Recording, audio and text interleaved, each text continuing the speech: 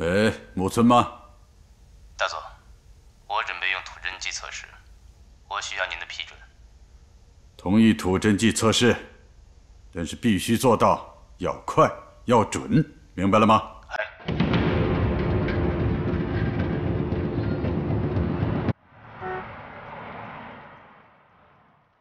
老板，来份报纸。好。来，你拿好。谢谢。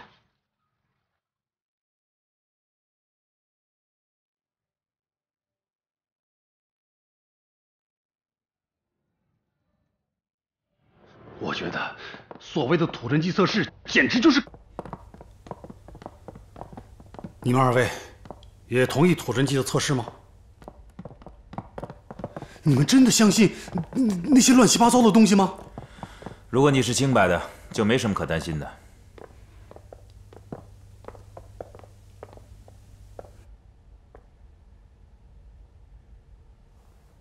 诸位，现在我宣布。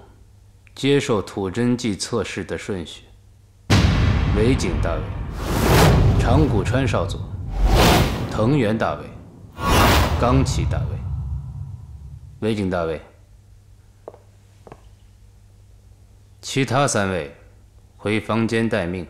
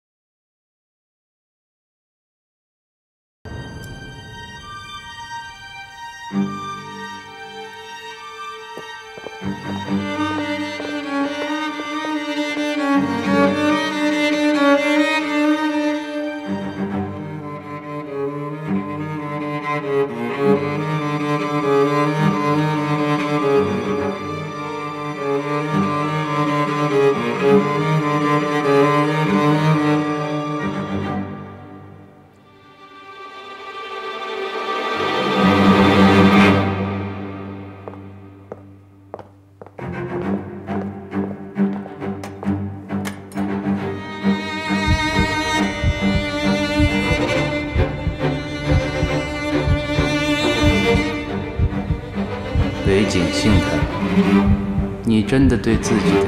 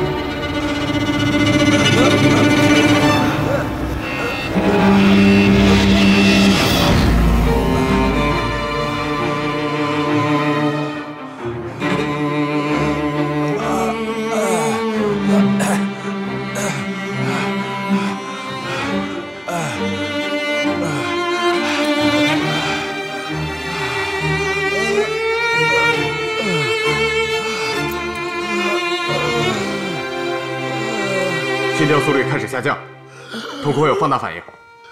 现在是询问的最好时机，中佐。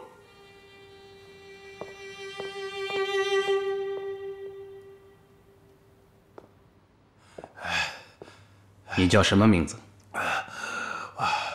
魏景星太郎。我问的是你的中国名字。我没有中国名字，我是魏景家丁子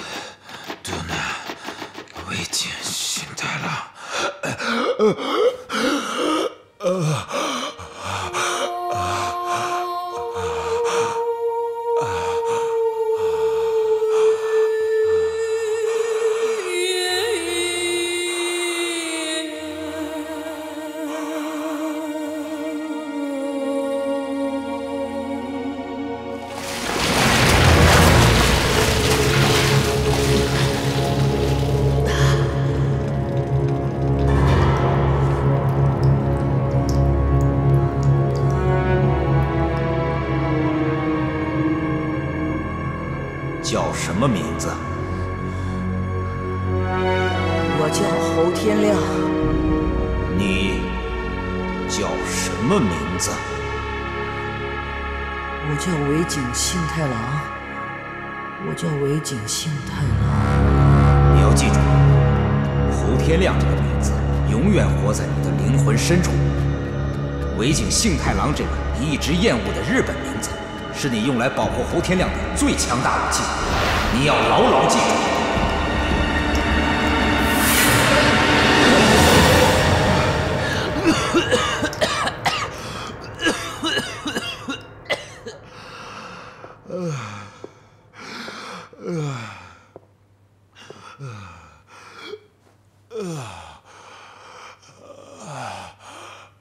关于同计划，你知道多少？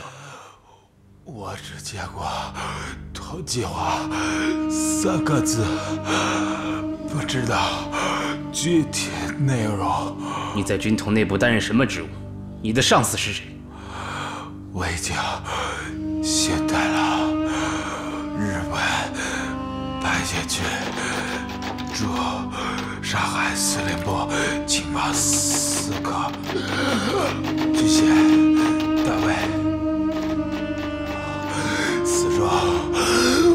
状翻译进二。你是怎么从司令部向外传递情报的？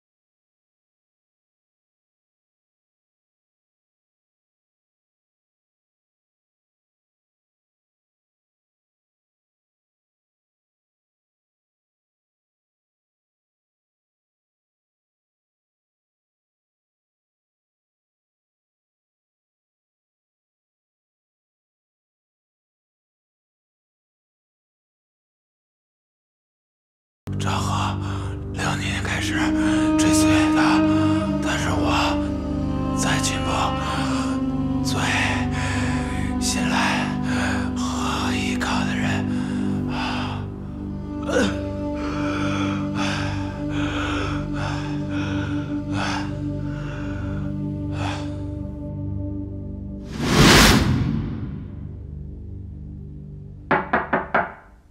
进来。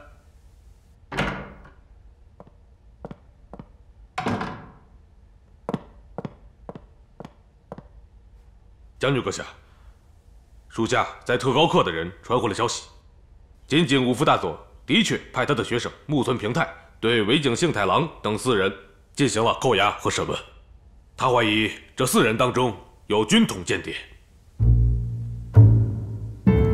告诉特高课那边，有任何情况及时向我汇报。适当的时候，我会下令阻止金井武夫。将军阁下，您一直主张用武力解决中国问题，这与金井武夫大佐所主张的和谈政策是相矛盾的。金井武夫大佐他现在已经触犯了军法，无论是不是真的存在军统的间谍，这都证明了金井武夫大佐没有统略能力。将军阁下，您何不上报军部，将他彻底的摧毁？金井武夫不足为虑，他之所以能这么做，也是因为有军部里的那帮懦夫在给他撑腰，仿佛和谈就是救命稻草。但是，对付中国人，只能用武力征服，和谈只是一种无能的表现。所以我现在要做的，并不是摧毁金井武夫，而是眼睁睁地看着他遭受羞辱。眼下他已经被自己人搞得心神不宁，我要等到他骑虎难下时，再展开行动，给他以致命的一击。明白吗？嗨，属下明白。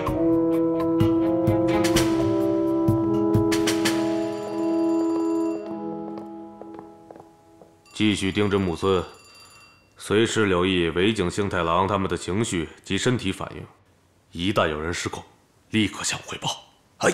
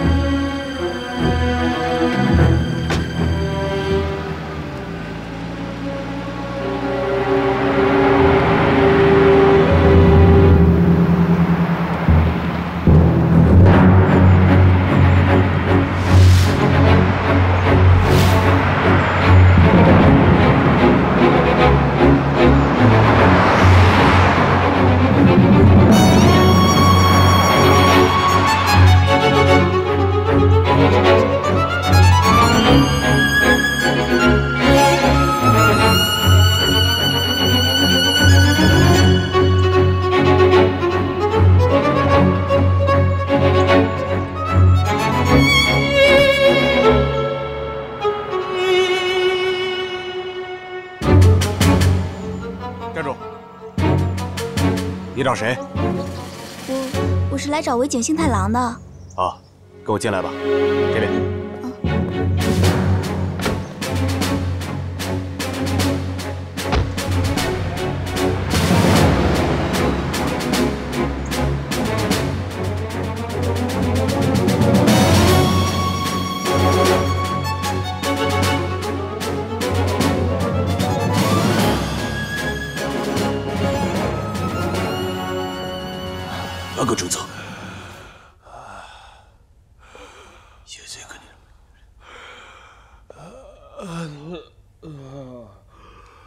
把尾井大卫带到观察室。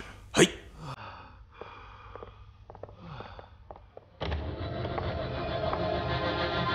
请，谢谢。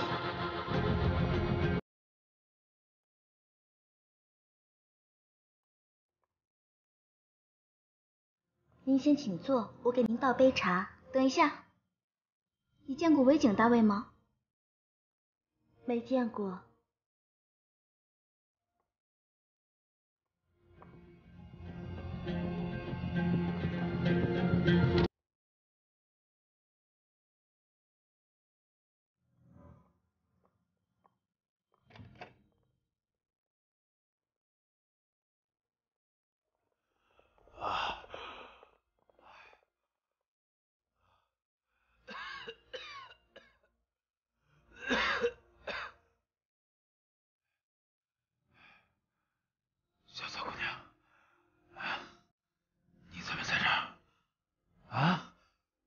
你怎么在这儿？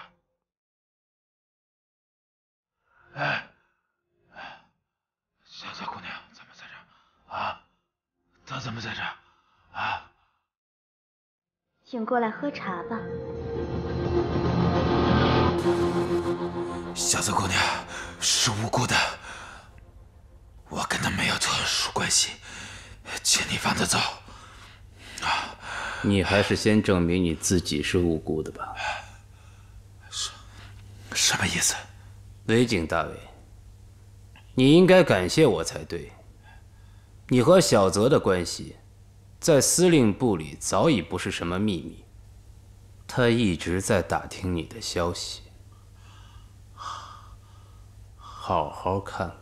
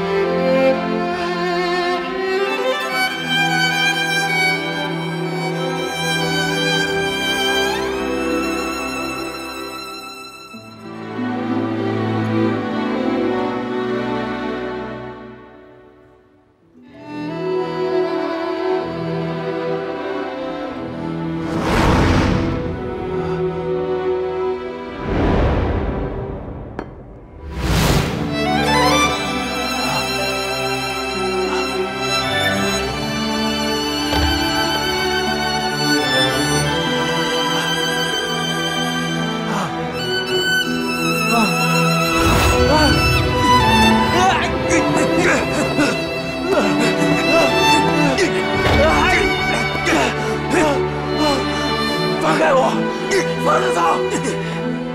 他是我的心上人，不是你排查奸细的工具。放他走！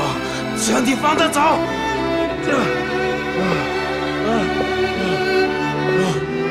刚才还说你们俩没有特殊关系，现在又说他是你的心上人。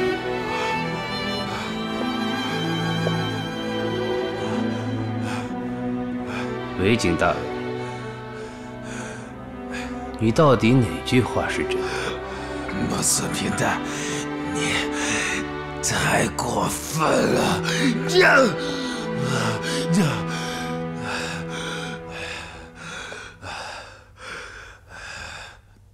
作为一名帝国的情报人员，你对感情的敏感程度似乎多了许多。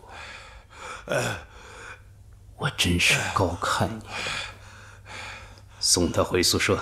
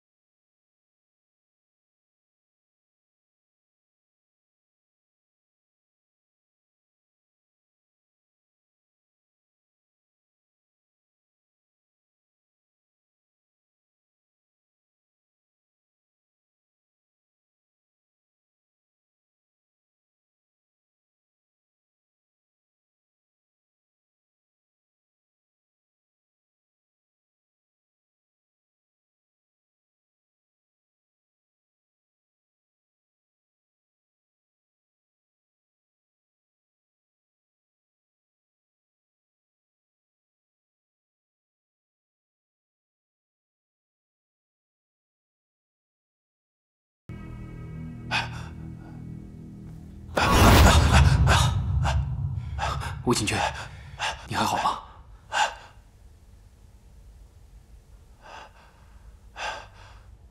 客气。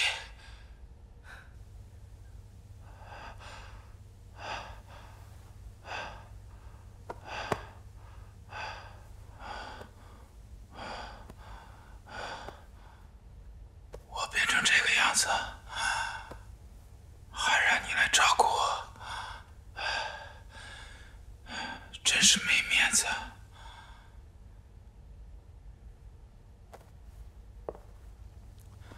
不过，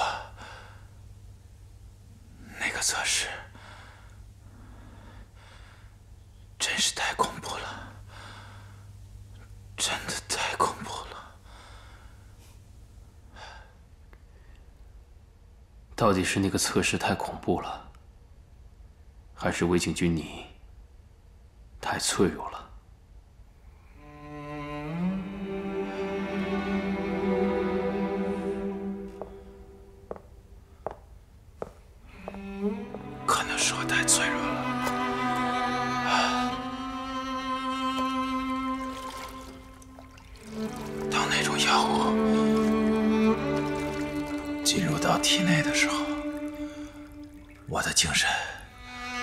和灵魂都像被绑架了一样，不管心理防线如何强大。都会瞬间崩塌。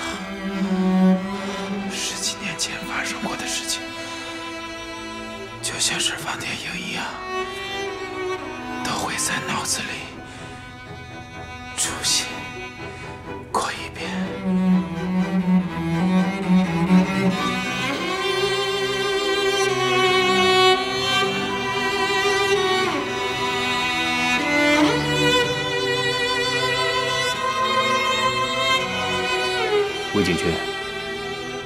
看来你的药物反应还是没有结束，你真的需要多休息。还有，你刚才提到的那个测试，我很有兴趣尝试一下。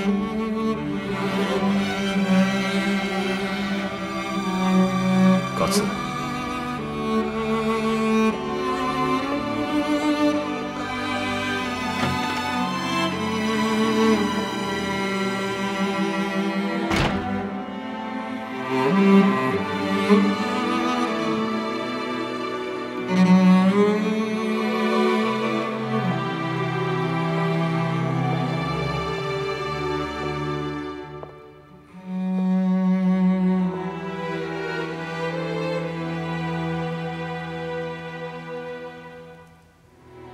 过往的一切，我能守得住吗？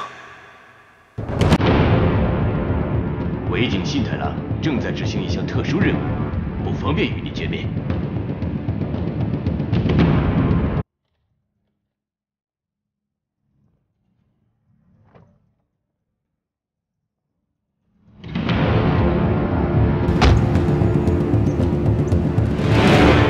确定就在霞飞路那儿？我是跟着司令部那个叫小泽的日本女孩找到的，后来她又被送了出来。那些人看样子应该是特高课的人，目标周围有明暗哨分布，守备力量不清楚，但人手肯定不少。现在基本可以判断，天亮应该就在里面。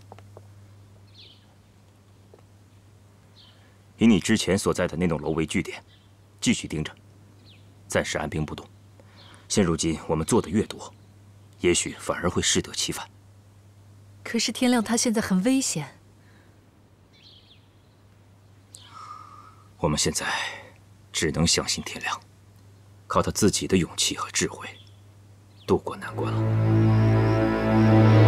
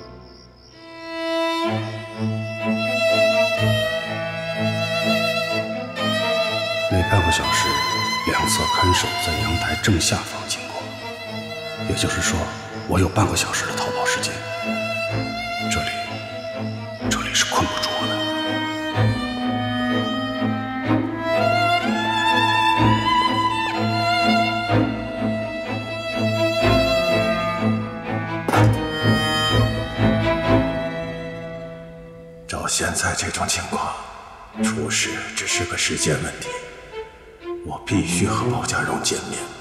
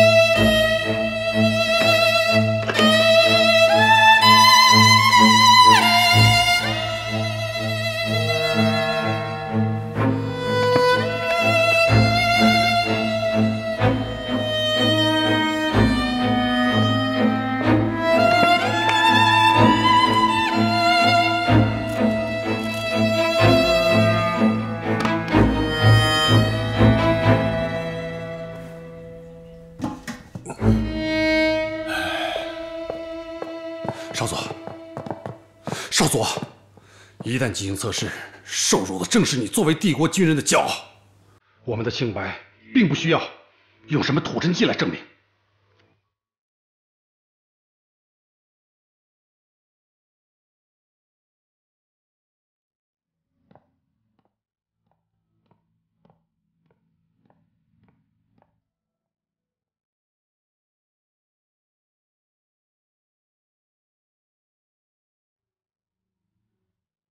看来，长谷川少佐理解的帝国军人的骄傲，跟藤原大尉理解的不太一样。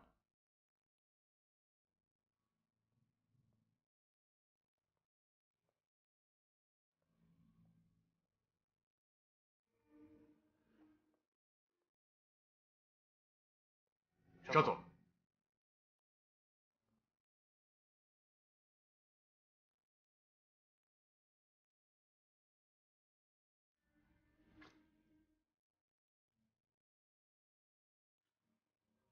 以我长谷川治对帝国的忠心，我相信你，在我这挖不到什么感兴趣的东西。感不感兴趣，那得等你张了口之后才知道。注射。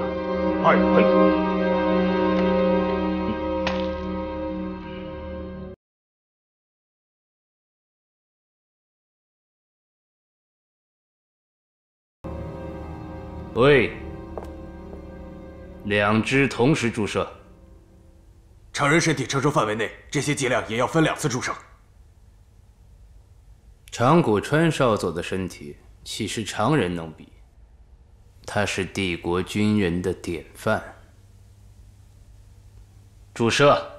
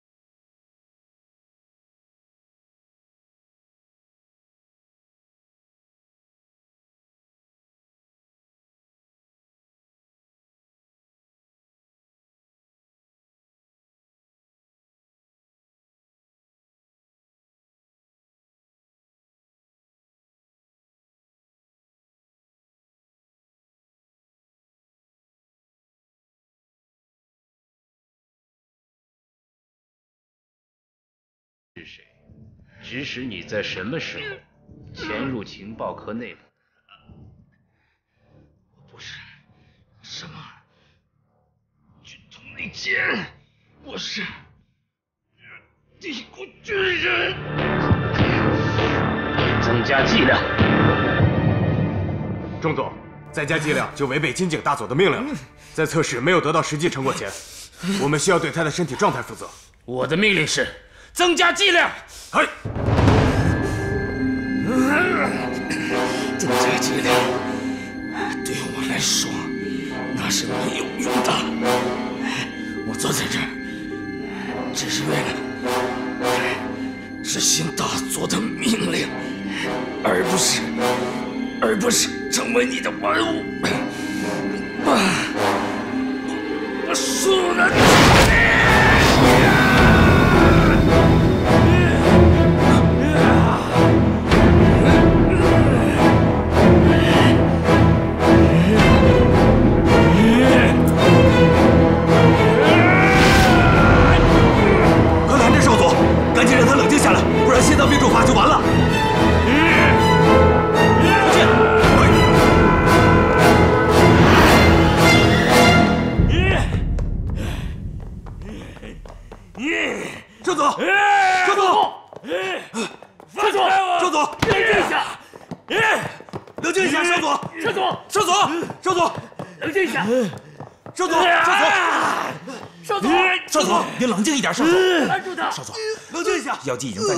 起反应了，你现在必须冷静下来，不然会要你命的。少佐，少佐，少佐，少佐，少佐，少佐，快躺下！少佐，扶他躺下，快躺下，快！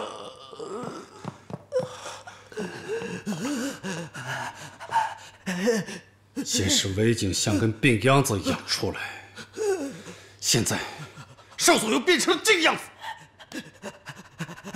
中佐是存心想把我们给逼疯。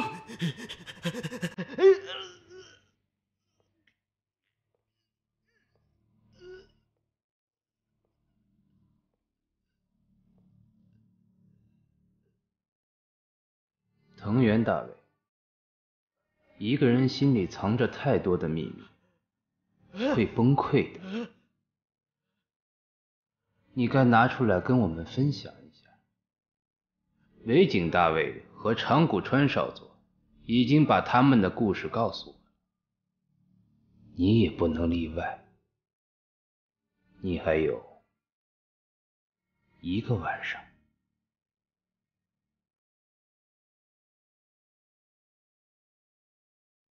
我是不会让你得逞的，不会的。送少佐回房间。嘿，嘿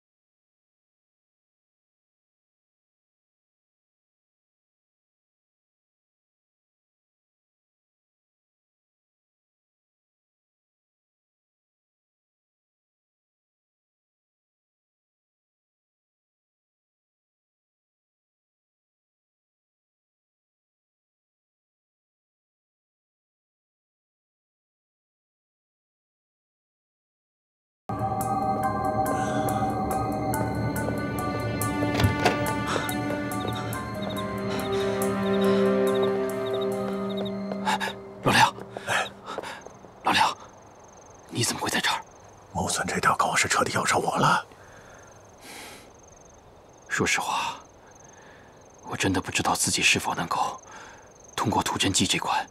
即便你通过了这一关，木村他也不会放过我的。这条死路我走定了。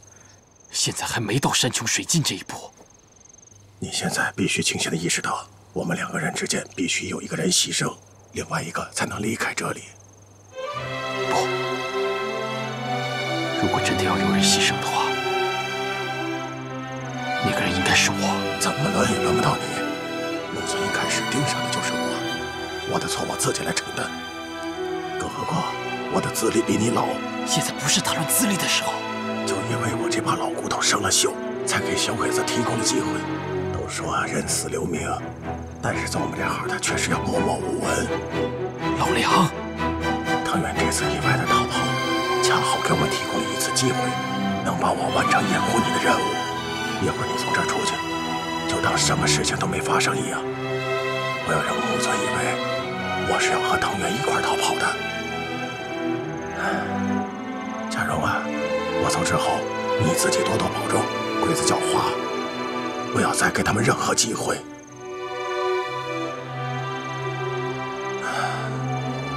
老梁，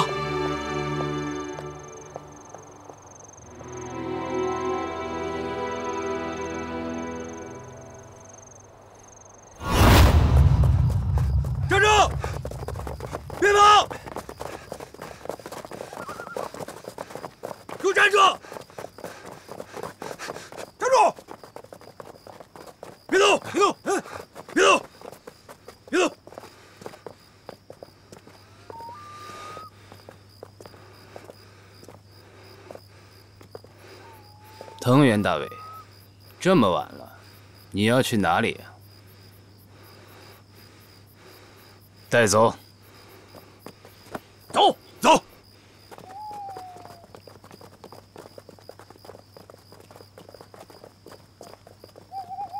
报告中佐，那个老清洁工也要逃跑，被我们抓住了。